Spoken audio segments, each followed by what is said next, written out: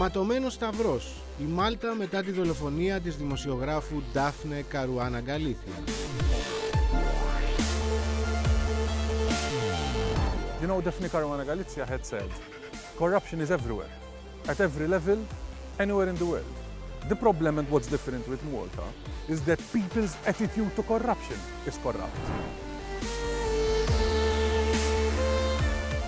Offshore, στοιχήματα και μπόλικο Hollywood στην καρδιά της Μεσογείου. 28 φορές Ευρώπη από τη Βαλέτα.